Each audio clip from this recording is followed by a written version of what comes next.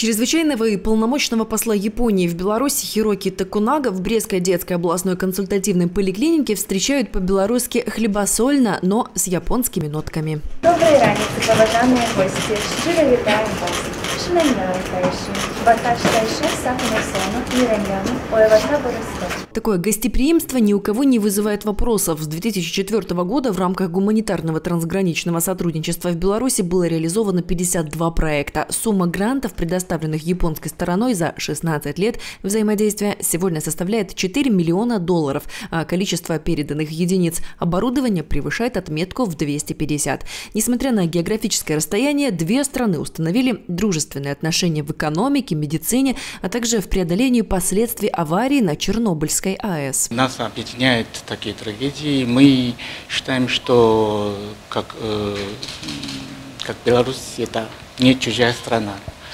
А, и дети, э, как это будущее, а, а, как, не только в Беларуси, тоже в Японии. И мы считаем, что помочь э, детям это помочь будущее э, Беларуси и будущее э, наши отношения.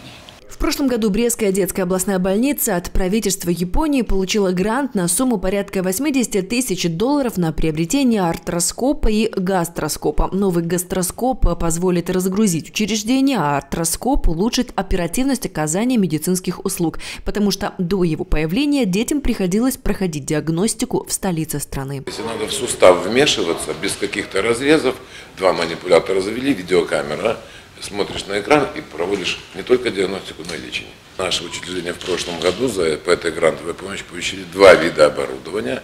Это современный видеогастроскоп и артроскоп, которые позволяют, в принципе, улучшить доступность и качество как диагностики, так и лечения.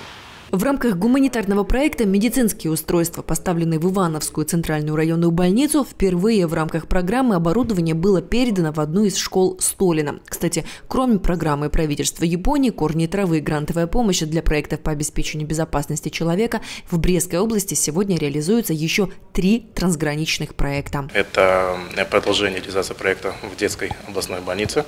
Э, Он э, называется «Об улучшении оказания медицинской помощи на трансграничном регионе». Общий бюджет данного проекта э, более 950 миллионов евро. Также с 2020 года начал э, свою реализацию проекта в Брестской областной клинической больнице.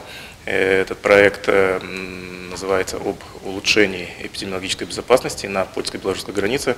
Его общий бюджет э, более 2,5 миллионов евро. И также с 2020 года реализуется проект в Жабенковской э, центральной районной больнице. Виктория Нечаева, Эдуард Букнович, Александр Макаревич, телекомпания Бук ТВ.